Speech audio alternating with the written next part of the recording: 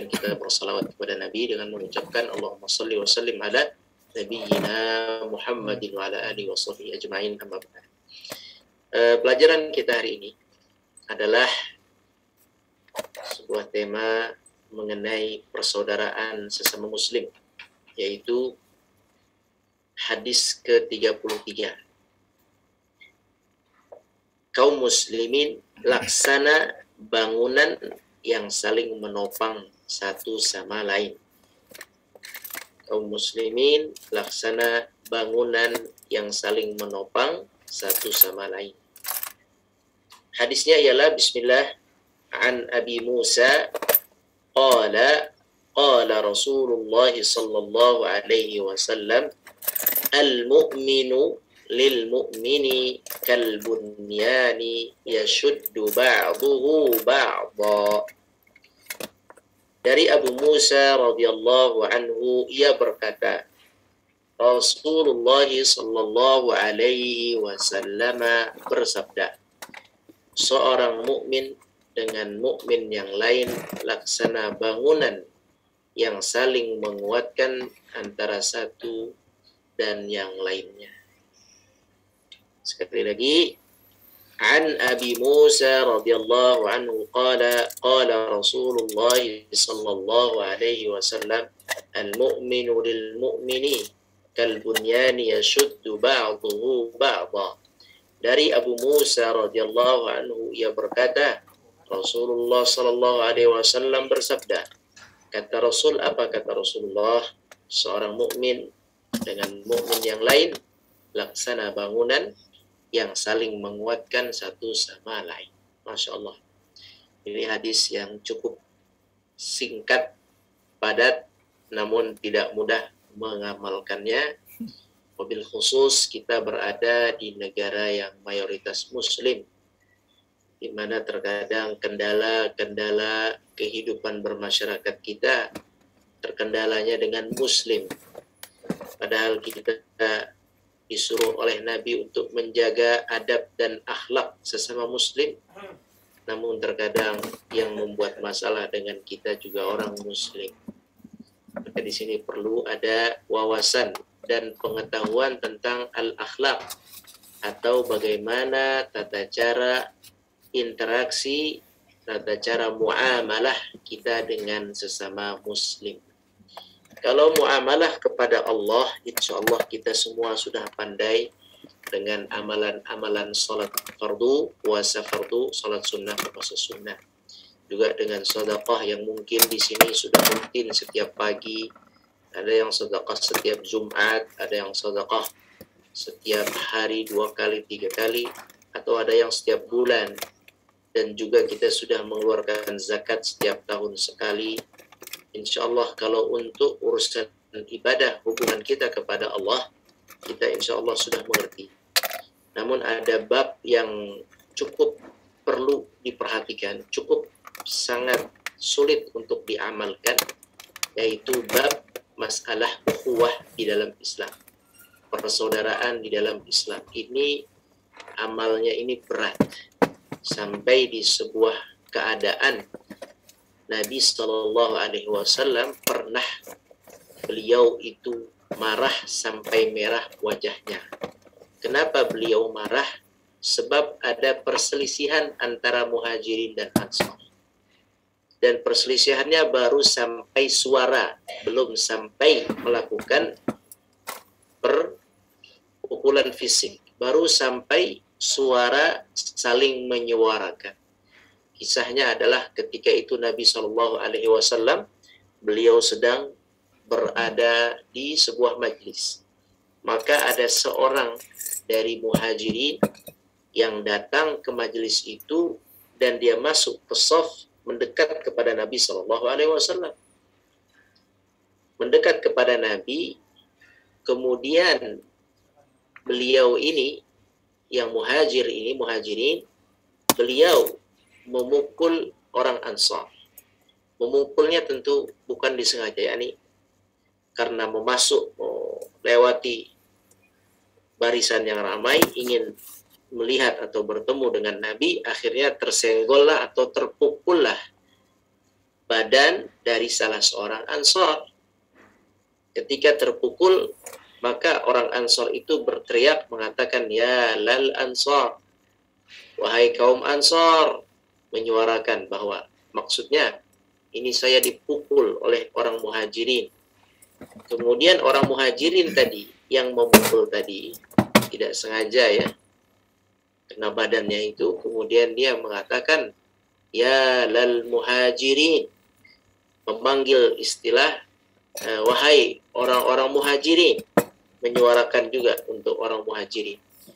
Ketika itu Nabi di hadapan mereka Nabi ada di hadapan mereka sehingga Nabi Shallallahu Alaihi Wasallam langsung bersabda di dalam hadis ada dalam riwayat Bukhari dan Muslim Kata Nabi Shallallahu Alaihi Wasallam, "Abida'wal jahiliyati wa ana baina azhurikum."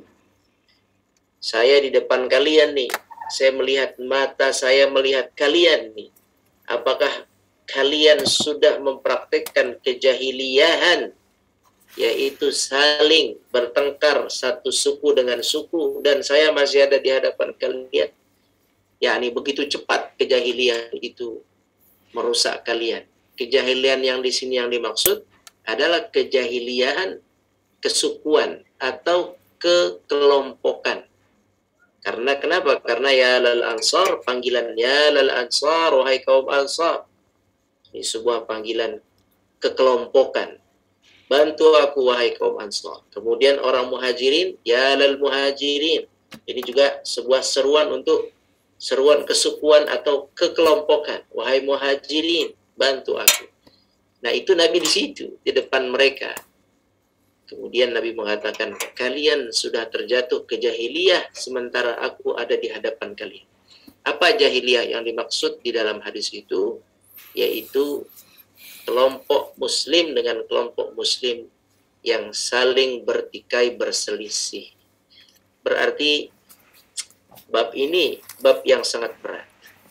Jadi dikatakan bab ini bab yang sangat berat. Bab yang harus selalu diingat.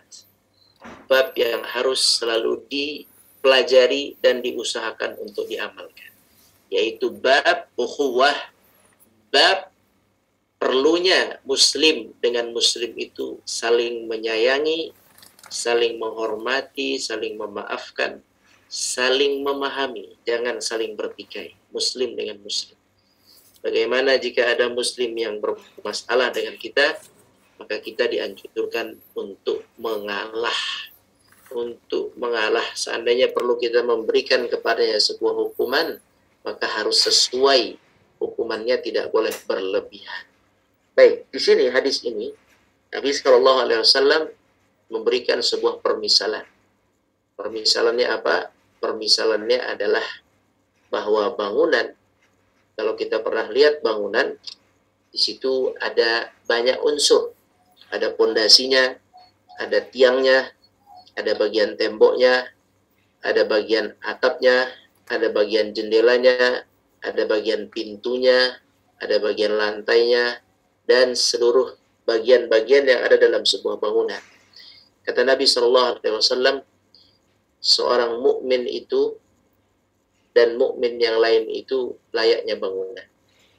Kalau saya misalnya jadi temboknya, maka Bapak Ibu misalnya ada yang jadi atapnya, kemudian mungkin ada yang jadi lantainya, ada yang jadi pondasinya, kemudian ada yang jadi bagian jendelanya, ada yang jadi bagian pintunya. Kita sama-sama menopang maka itu telah kita lakukan sebagai muslim yang saling tolong menolong dalam kebaikan. Muslim yang tolong menolong dalam dakwah Islam. Dan insya Allah sih Alhamdulillah sebagian kita sudah melakukan. Seperti misalnya melakukan program santunan kepada anak-anak yatim. Ini bagian dari pengamalan hadis ini. Atau santunan kepada para pemulung atau santunan kepada muslim-muslim yang kurang mampu tu'afa atau santunan kepada ibu-ibu yang ditinggalkan oleh suaminya yang nafkahnya tidak sama ketika suaminya hidup berkurang. Nafkahnya berkurang rezekinya setelah wafat suaminya. Atau istilah kita janda misalnya. Maaf kemudian diberikan bantuan oleh e, masjid misalnya diberikan bantuan oleh yayasan. Misalnya ini juga termasuk bagian dari saling menopang. Ya suddu ba'dhu ba'dha.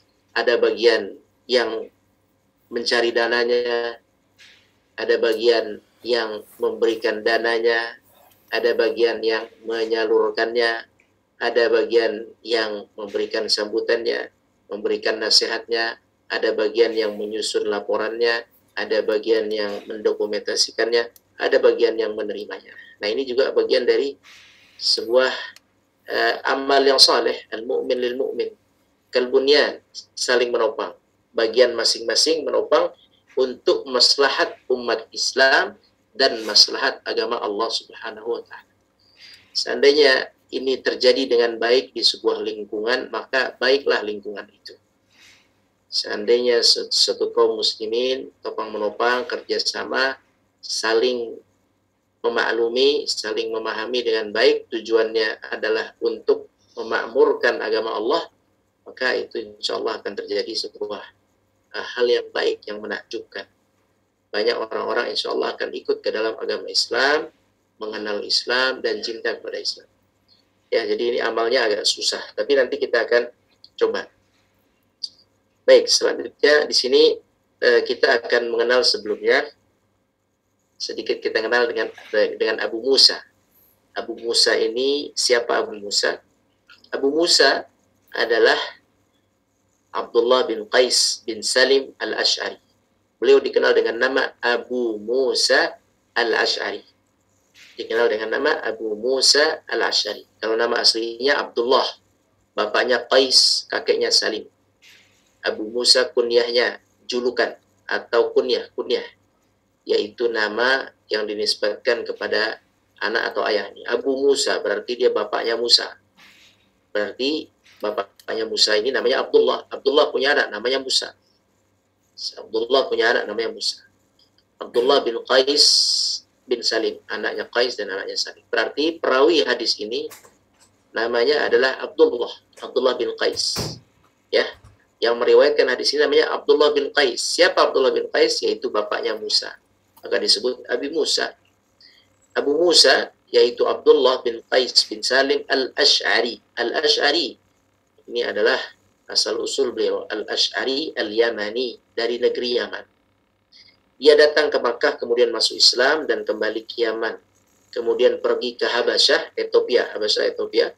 Ia juga datang ke Madinah setelah penaklukan Khaybar. Kemudian beliau juga selain ke Makkah setelah masuk Islam, beliau pergi ke Habasyah. Kemudian beliau ikut datang lagi ke Madinah setelah penaklukan Khaybar. Penaklukan Khaybar. Baik. Khaybar ini Yahudi, Yahudi yang diusir oleh Nabi Wasallam. Kemudian selanjutnya ia ikut serta dalam jihad dan peperangan. Ia adalah sahabat yang paling bagus suaranya dalam membaca Al-Quran. Nah, Abu Musa al-Ash'ari adalah sahabat yang paling bagus suaranya. Jadi kalau ditanya siapa orang yang paling bagus di antara sahabat bacaannya, eh, bukan bacaannya, suaranya maaf. Suaranya yang paling indah, bacaannya baik, benar, dan suaranya paling bagus, siapa itu? Abu Musa al-Ash'ari. Kemudian ia adalah ahli ibadah, ahli ilmu, dan ahli fiqih serta ahli zuhud.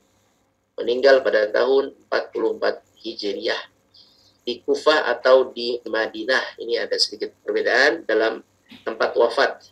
Dan ada yang mengatakan selain itu tentang tahun kematiannya. Ada pendapat lain bahwa beliau meninggal bukan tahun 44. Ini tidak ada masalah yang penting bagi kita adalah Abu Musa al-Ash'ari adalah seorang sahabat yang uh, ikut yang masuk Islam di Makkah, kemudian pergi ke Habasyah, kemudian kembali ikut bersama Nabi di Madinah dan beliau adalah sahabat yang paling bagus suaranya sehingga Nabi Shallallahu Alaihi Wasallam pernah meminta uh, Abu Musa memuji suara Abu Musa al Ashari.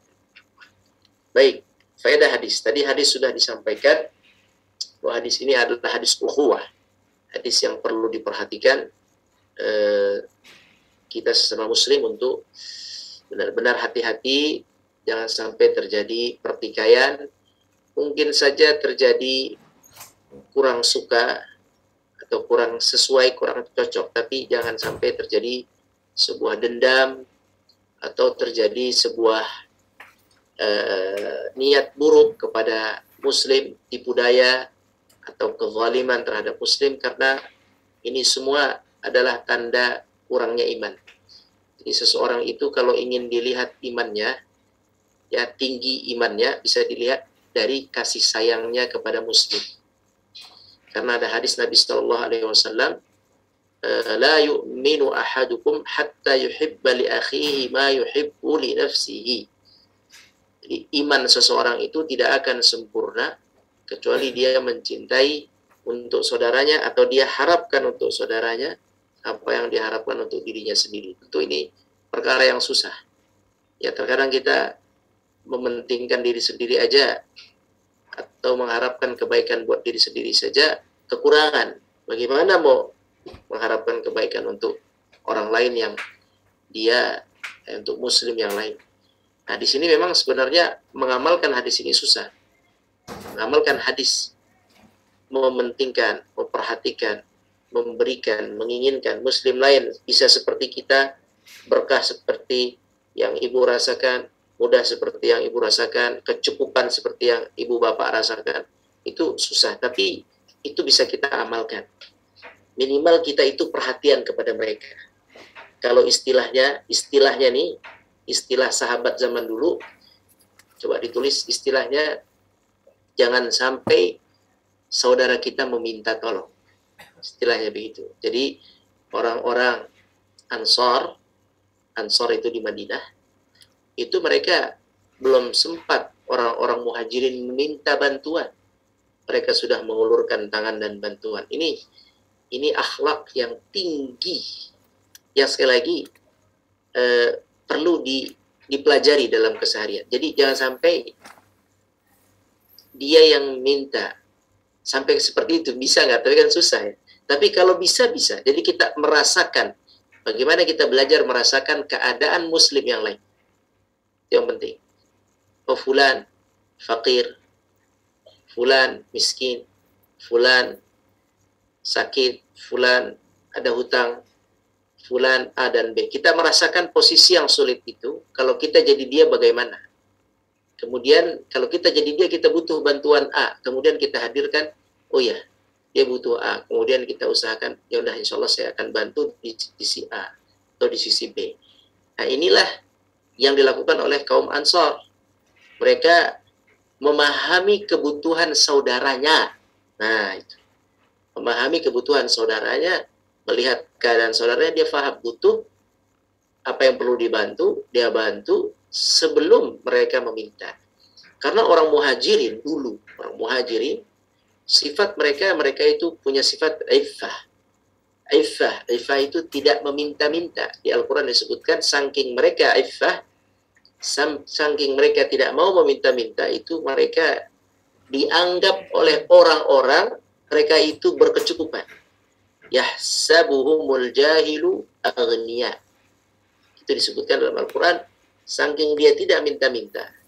Saking dia tidak mau tangan di bawah. Orang mengira dia berkecukupan. Tapi sebenarnya dia perlu dibantu.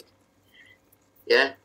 Jadi kalau Bapak Ibu melihat ada seorang Muslim yang tidak pernah minta-minta, tapi ibu tahu, bapak tahu ini kayaknya perlu dibantu, maka segeralah ulurkan bantuan.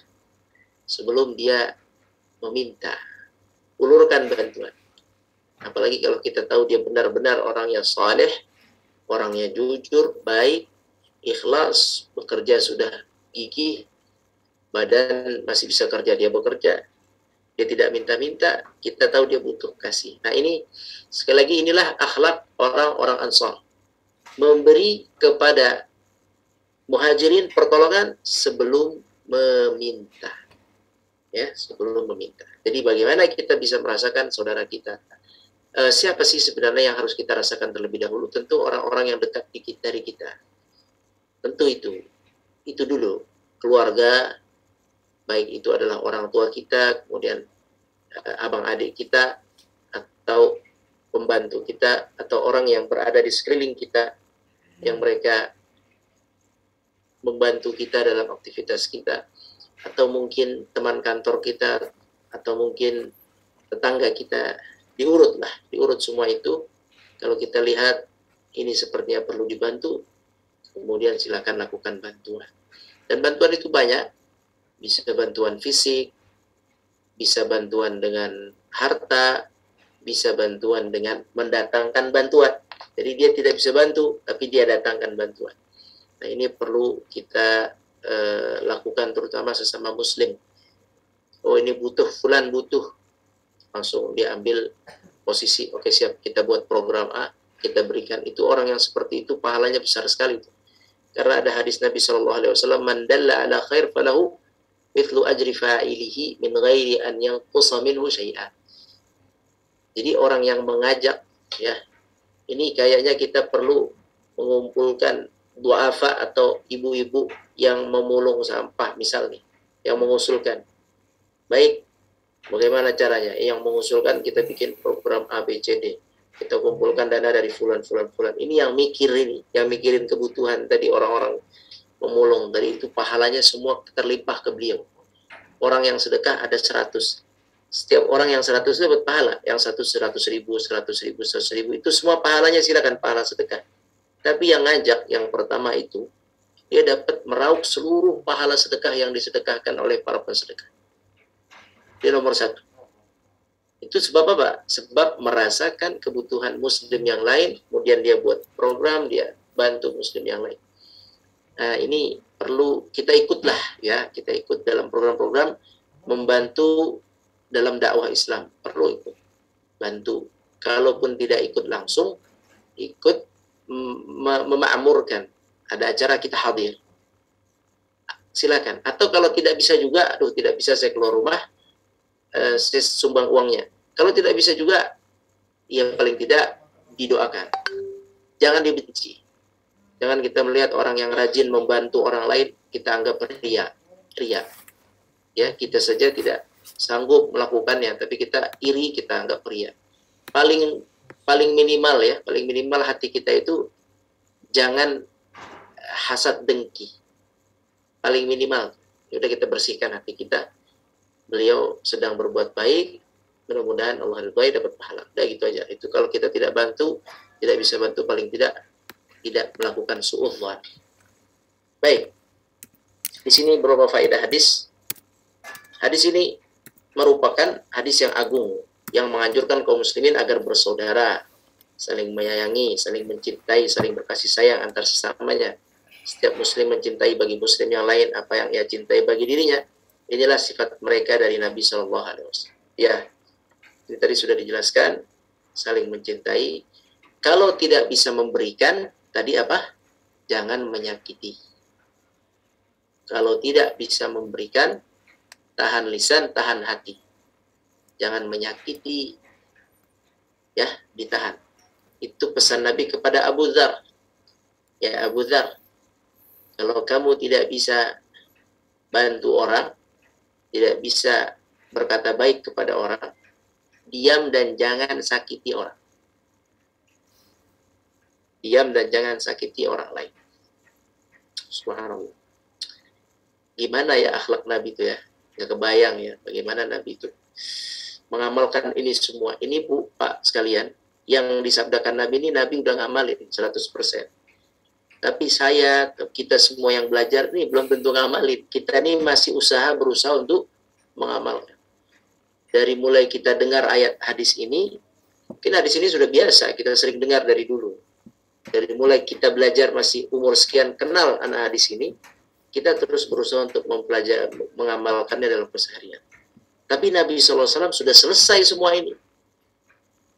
Coba antum bayangkan bagaimana Allah Akbar. Pokoknya nggak kebayang deh. Bagaimana kasih sayangnya Nabi kepada Muslim. Sedikit Anda ceritakan. Satu, ini Nabi, makhluk manusia. Ini belum Allah Azza wa Jalla. Ini kasih sayang makhluk yang namanya Nabi Muhammad SAW. Dan Nabi Muhammad adalah manusia paling penyayang, paling pengasih, paling pemaaf di antara yang lain. Disebutkan dalam Al-Quran, eh, bil mu'minina ra'ufur rahim. Ra'uf sifat Allah itu. Rahim sifat Allah. Tapi sifat itu diberikan kepada Nabi. Maksudnya Nabi mendapat bagian kelembutan dan kasih sayang yang banyak. Allah berikan kepada Nabi sifat lembut, kasih sayang yang banyak porsinya, melebihi porsi kita semua. Mungkin kasih sayang kita nih kalau ditumpuk eh, kebaikan fulan di grup ini, kebaikan fulan, kebaikan fulan, kasih sayang kita ditumpuk, tumpuk, tumpuk, tumpuk, itu belum sampai juga dengan kasih sayangnya Nabi yang Allah masukkan ke dalam hati Nabi. Ya istilahnya kalau kasih sayang Nabi besarnya istilah saja, istilahnya besarnya segunung, segunung Uhud, ya yang sangat lebar dan tinggi. Mungkin itu istilah aja, istilah saya saja. Misalnya, mungkin kalau kita dikumpulkan nih kasih sayang kita, mungkin cuman sampai mana? Cuman sampai bagian kanan Gunung Uhud 2 meter atau berapa meter? mungkin berapa gunung berapa persen dari Gunung Uhud? Mungkin tiga persen, empat persen presentasinya sangat kecil ya. Kasih sayang kita kalau digabung nggak mungkin sampai kepada kasih sayangnya Nabi kepada kaum muslimin. Bagaimana Allah begitu? Bagaimana Allah Azza kasih sayangnya kepada hambanya? Wah, jauh pasti di atas itu. Sedangkan nabinya saja sudah menunjukkan kasih sayangnya. Bagaimana contohnya? Banyak contohnya. Di antaranya, di antaranya nih, ada orang yang bermaksiat datang ke Nabi. Ada dua satu pemaksiat laki-laki penzina, satu lagi penzina perempuan. Dua-duanya datang minta kepada Nabi ya Rasulullah saya berzina minta dihukum dengan hukum rajam. Hadisnya dua-duanya sahih. Kemudian kata Nabi lihat Nabi di sini kasih sayang. Kata Nabi ulang dan minta ampunlah kepada Allah. Kata Nabi apa? Ulang minta ampun kepada Allah. Ulang Nabi bukan tidak mau menerapkan hukum Allah. Hukumannya harusnya dua orang itu. Yang laki harusnya dirajam. Dia diikat atau dimasukkan badannya sampai leher, sampai dada lah. Dadanya masuk ke dalam tanah, sisa pala segini. Ditimpuk, namanya rajam, sampai mati. Harusnya itu hukumannya itu. Karena dia berzina setelah nikah. Yang perempuan juga sama. Dia berzina setelah nikah. Harusnya dia dikubur, seperti ini, dikubur. Tanah sesak napasnya, ditimpuk sampai mati. Namanya raja. Karena berzina setelah nikah.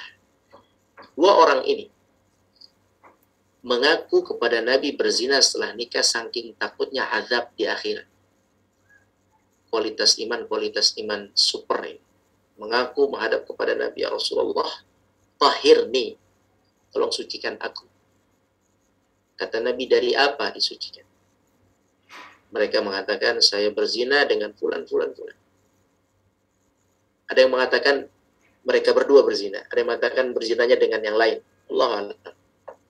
Intinya dua orang ini mengaku dan menghadap Nabi Shallallahu Alaihi Wasallam. Tahir nih, sucikan kami dari perbuatan dosa kami. Karena saking takutnya dengan adab akhir. Kemudian Nabi SAW diberikan oleh Allah rahmat kasih sayang. Nabi tidak langsung menerapkan rajam. Nabi mengatakan pada mereka, irja, ulanglah dan bertaubatlah kepada Allah. Seandainya dua orang tadi pulang dan bertaubat kepada Allah, itu cukup sebenarnya. Coba bayangin, Bapak Ibu sekali lagi bayangin, ada orang berdosa yang harusnya hukum rajam menghadap Nabi, kemudian Nabi maafkan. Tentu pemaafan Nabi ini atas izin Allah ini, bukan kehendak Nabi saja, ini atas izin Allah. Ini kalau kita bayangkan berarti bisa jadi suatu saat ada orang yang berdosa datang ke Allah Azza wa Jalla. Datang ke Allah wafat dia wafat menghadap Allah tapi sebelum wafat dia menyesal dengan dosanya. Itu bisa jadi dia diampuni oleh Allah SWT tapi syaratnya dia menyesal sebelum matinya. Bagaikan ini, ini dia menyesal dengan dosanya. Menyesal dengan dosanya datang ke Nabi kemudian Nabi memaafkan hukum rajamnya. Tidak di, tidak diterapkan. Dan ini sah diizinkan oleh Allah SWT saat itu. Kemudian Nabi mengatakan ulang tapi dua sahabat ini merasa tidak berani atau iman mereka tidak siap dengan azab akhirat. Masih takut, masih takut, masih ingin bahwa pengampunan Allah itu pasti. Mereka ingin pasti. Bagaimana pasti? Pasti itu kalau dirajam. Kalau dirajam itu udah diampunin pasti. Kalau pencuri dipotong tangannya, itu dosa curinya nol. Tapi kalau belum dipotong, itu urusannya kembali kepada Allah. Mau diampuni, mau tidak, itu urusan pada Allah. Kembali kepada Allah. Pembunuh, dia bunuh nih Kalau dia dihukum bunuh lagi, kisos, maka hukum bunuhnya selesai. Dia tidak akan dihukum dengan dosa bunuhnya. Tapi kalau dia tidak dikisos, di penjara seumur hidup misalnya, itu masih ada urusannya di hadapan Allah nanti di akhirat masih ada. Kalau Allah mau ampuni bisa, kalau Allah ingin dia bermasalah dengan yang dibunuh bisa. Itu urusan Allah. Jadi sahabat sangat faqih, faham sekali hukum Allah sehingga dua sahabat ini nggak mau atau kurang puas lah, kurang puas dengan istighfar mereka kepada Allah. Mereka mau pasti pengampunan itu karena mereka merasa dengan istighfar ini bagaimana diampuninya kan tidak terasa diampuni dosa itu. Tapi kalau dirajam itu udah pasti diampuni. Maka datang lagi kedua kali kepada Nabi. Tahir nih, ya Rasulullah, sucikan saya. Sampai tiga kali. Di kali kedua Nabi mengatakan pulang dan istighfarlah. Sekali lagi kalau dia ikut pulang dan istighfar, selesai itu. Insya Allah termasuk diampuni walaupun tidak dirajam. Tapi mereka kemudian ikut lagi, minta lagi untuk ketiga kali. Akhirnya Nabi SAW pun melakukan rajam. Meninggallah mereka berdua dalam keadaan dirajam. Kemudian dikafankan, kemudian dimandikan, dikafankan, dan kemudian dimakamkan. Baik, apa yang kita ambil dari hadis ini? Yaitu hadis bagaimana Nabi menyayangi orang muslim. Kasih sayang Nabi Shallallahu Alaihi Wasallam. Kemudian setelah mereka berdua dikubur, para sahabat membicarakan dua mayit ini. Yang satu, satu kelompok mengatakan mayit ini yang meninggal ini hina sebab dia berzina. Yang satu mengatakan tidak hina, dia walaupun berzina, dia sudah taubat kepada Allah. Gitu ya, dia sudah taubat kepada Allah. Kemudian berita pertikaian pendapat ini di kalangan sahabat sampai kepada Nabi. Kemudian Nabi SAW mengambil biasa ambil posisi berkhutbah di hadapan para sahabat mengatakan wahai para sahabatku janganlah kalian menghina dua orang yang telah meninggal di Nabi SAW menjelaskan status dua orang ini kata Nabi SAW dua orang ini telah bertaubat dengan taubat yang kalau dibagikan untuk kalian semua kalian pun dapat taubat itu dan kalian diampuni oleh Allah SWT seluruh orang di Madinah dapat ampunan kalau taubatnya tadi dibagi-bagi semua semadinah. Ya jumlahnya banyak di Madinah puluhan ribu bahkan. Ya eh, di Madinah maaf ribuan ribuan di Madinah banyak. Saat itu jika dibagikan semadinah semua bisa diampuni oleh Allah Subhanahu Wa Taala dengan taubat dua orang tadi dengan taubat mereka nah apa maksudnya maksudnya adalah uh, Nabi sayang kepada umatnya kemudian juga Allah sayang kepada hamba itu contoh Nabi menghadapi orang yang melanggar hukum. Kemudian ada lagi orang yang melanggar hukum yang suka uh, mabuk-mabukan. Mabuk-mabukan, mabuk-mabukan. Yang terkenal tuh suka mabuk-mabukan. Ya, tapi orang ini cinta kepada Nabi. Benar, dia cinta kepada Nabi, suka berikan hadiah kepada Nabi, menunjukkan cintanya kepada Nabi yang tulus. Cuman masalahnya memang mabuk aja ini, karena mabuk itu dulu di zaman di zaman jahiliyah itu seperti teh. Jadi orang ini masih sulit meninggalkan mabuk. Kalau kita kayak kebiasaan sebagian kaum muslimin e, meninggalkan rokok kayaknya susah sekali. Nah ini dulu mabuk-mabukan. Awalnya kan boleh, kemudian diharamkan secara bertahap. Nah ini sudah diharamkan, nah masih suka mabuk. Nah, kemudian e, sering di, dirajam, di apa? Dijilid kalau mabuk ketahuan dijilid tek tek tek 80 kali dijilid lagi dijilid lagi tapi dia memang sudah ketagihan sahabat ini kemudian minum lagi minum lagi nah orang-orang yang lain itu melihatnya sahabat yang lain melihat rendah kepada sahabat ini kemudian Nabi SAW mengatakan jangan kalian melihat dia rendah karena dia mencintai nabinya mencintai nabinya mencintai Nabi Muhammad SAW jadi Nabi SAW itu eh, hatinya lembut sekali melihat muslim yang kurang baik, muslim yang melanggar itu lembut sekali. E, pemaaf sekali. Tidak langsung main hukum ini orang begini, begini, begini. Ini buruk langsung jelek, langsung hitam di mata kita tidak. E, itu Nabi SAW. Yakni Nabi selalu ingin kebaikan kepada hamba atau kepada umatnya. Kemudian juga contoh lagi, contoh lain e, Nabi Shallallahu Alaihi Wasallam tentang kasih sayangnya kepada umatnya kepada muslim, kepada mukmin. Itu ada disisahkan dalam sebuah hadis Bukhari bahwa ada kaum yang datang kepada Nabi. Kaum itu miskin sampai bajunya itu seperti kalau kita punya apa namanya nih meja ada taplak meja taplak meja dilipat dua tengahnya dibolongin masukin kepala begitu bajunya. Ya ada kain kotak tengah dibolongin masukin kepala. Bajunya begitu depan belakang saja. Tidak ada tangannya ini. Nah bajunya itu seperti itu mereka datang semua kepada Nabi dalam keadaan fakir miskin tidak punya kebut tidak, tidak tercukupi kebutuhannya. Kemudian mereka bertanya pada Nabi eh mereka uh, datang pada Nabi dan Nabi SAW sedih mukanya sedih gitu. Kemudian Nabi mengajak para sahabat untuk memberikan sumbangan seperti yang cerita tadi ya jadi kalau ada umat Islam yang seperti itu kasihan fulan kasihan fulan Kemudian mengajak, ayo kita kumpulin sumbangan buat si fulan. Si fulan menghadapi sebuah kesulitan. Nah itu dilakukan Nabi Shallallahu Alaihi Wasallam. Saking cintanya beliau sesama muslim. Merasakan gimana sulitnya kaum itu, kemudian Nabi SAW mengatakan pada sahabat, yang mau sumbang makanan, yang mau sumbang dinar, yang mau sumbang baju, silahkan. Ini sahabat kita membutuhkan.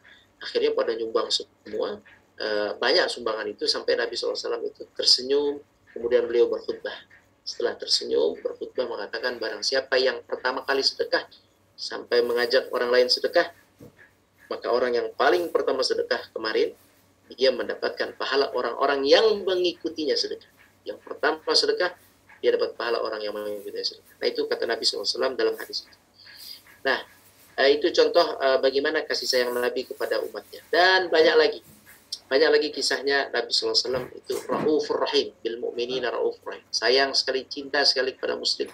Bahkan kalau bisa tadi itu menanyakan apa kebutuhan Anda. Kalau udah sampai seperti itu, nilai kita tinggi imannya. Walaupun hanya ke orang yang kita kenal, itu cukup. Nggak harus ke semua orang, karena kita nggak kenal juga. Ya, yang penting yang orang dekat yang kenal atau kita kenal lah ada kebutuhan apa atau ini ada kebaikan bisa nggak nih silahkan seperti itu. Ya, itu adalah contoh uh, pengamalan dari uh, hadis ini. Salah satu pengamalannya seperti itu. Kemudian yang kedua, hadis ini mengandung hukum bahwa kaum muslimin saling tolong menolong dan saling berpegang satu sama lain seperti bangunan yang saling menopang satu sama lain. Nah, kemudian yang ketiga, hadis ini mengajak kaum muslimin untuk saling mendukung, saling bahu membahu, saling tolong menolong di antara mereka, saling tolong menolong dalam kebaikan dan takwa bersatu dan berpegang teguh dengan tali agama Allah semuanya serta tidak bercerai-berai dan tidak bertikai di antara mereka. Nah, tidak bertikai, ya tidak cerai-berai dan tidak bertikai, uh, ya hindarilah pertikaian yang tajam sesama Muslim. Uh, walaupun terkadang bisa saja terjadi, tapi di, di, diminimalisir lah, diminimalisir. Karena manusia kan penuh dengan khilaf. Tidak mungkinlah kita tidak lalai. Terkadang kita lalai khilaf, bisa saja terjadi perselisihan, tapi diminimalisir. Diminimalisir dengan memaafkan, memaklumi. Memaafkan, memaklumi. Nah, kira itu uh, pelajaran kita hari ini mengenai hadis uh, perumpamaan muslim dengan muslim lain seperti bangunan. Bagaimana cara mengamalkannya? Cara mengamalkannya adalah rasakan apa yang dirasakan oleh muslim lain terutama yang kita kenal kira-kira dia butuh apa kebutuhan oh, apa masalah apa iya. selama kita bisa tawarkan bantuan hmm. tawarkan atau bisa kita bantu langsung maka bantulah itu bagian dari pengamalan hadis ini tolong menolong saling mencintai sesama muslim dan banyak contoh yang dicontohkan oleh Nabi dan para sahabat Bismillahirrahmanirrahim السلام عليكم ورحمة الله وبركاته السلام وعليكم السلام ورحمة الله وبركاته إن الحمد لله نحمده ونستعينه ونستغفره ونعوذ بالله من شرور أنفسنا ومن سيئات أعمالنا من يهده الله فلا مضل له ومن يضلل فلا هادي له أشهد أن لا إله إلا الله وحده لا شريك له وأشهد أن محمدا عبده ورسوله لا نبي بعده. اللهم صل وسلم وبارك على نبينا محمد وعلى آله وصحبه أجمعين أما بعد. قال الله تعالى سبحانك لا علم لنا إلا ما علمتنا إنك أنت العليم الحكيم. kaum muslimin yang dirahmati Subhanahu wa taala. Bil khusus pengurus Masjid Al-Ikhwan, pengurus Malik yang dirahmati Allah Subhanahu wa taala dan seluruh jamaah kaum muslimin kaum muslimat yang mencintai hadis Nabi Sallallahu Alaihi Wasallam, mencintai Al-Quran, mencintai Nabi Sallallahu Alaihi Wasallam. Uh, mudah-mudahan apa yang kita pelajari di kelas hadis ini membaca kumpulan dari hadis-hadis Nabi ini mudah-mudahan menjadi saksi di hadapan Allah dan cinta kita, mahabbah kita kepada Rasulullah Sallallahu Alaihi Wasallam. Jadi kalau kita mengatakan cinta kepada Nabi Shallallahu Alaihi Wasallam, jika kita adalah sahabat yang hidup bersama Nabi, maka cinta kita dapat kita utarakan dengan bantuan fisik kita, dengan pengorbanan fisik. Kita berkorban, berjuang secara fisik dan harta membela Nabi Shallallahu Alaihi Wasallam. Jika kita berada atau sezaman dengan Nabi Shallallahu Alaihi Wasallam. Namun apabila kita tidak sezaman dengan Nabi Shallallahu Alaihi Wasallam, Nabi sudah tiada. Lantas apa yang bisa menjadi bukti kecintaan kita kepada Nabi Shallallahu Alaihi Wasallam? Di antara buktinya adalah kita mempelajari perkataan-perkataannya, mempelajari perbuatan-perbuatannya, dan mempelajari ketetapan-ketetapan beliau sallallahu alaihi wasallam untuk kita amalkan dan kita tirukan. Nah, ini adalah cara salah satu cara kita untuk menunjukkan kecintaan kita mahabbat mahabbatur Rasul sallallahu alaihi wasallam. Jadi mudah-mudahan uh, pelajaran kita ini kelas hadis ini setiap malam minggu ini semoga jadi saksi waktunya bersaksi. Orang-orang yang hadir di sini bersaksi. Dan mudah-mudahan buminya juga bersaksi yang kita duduki sekarang, yang kita injak. Bersaksi bahwa kita semua ini belajar hadis. Kita baca satu persatu, kita pahami pelan-pelan. Semoga jadi saksi kita di hadapan Allah bahwa kita mencintai Nabi kita Muhammad Sallallahu Alaihi Wasallam. Mudah-mudahan nanti di akhirat kita termasuk ke dalam uh, umat Nabi Muhammad SAW walaupun kita tidak ada apa-apanya dibanding orang-orang soleh sebelum kita tapi ya paling tidak mudah-mudahan dengan belajar hadis ini kita diangkat oleh Allah bisa bersama posisi yang bagus bersama Nabi Sallallahu Alaihi Wasallam. الله محمد رسول الله.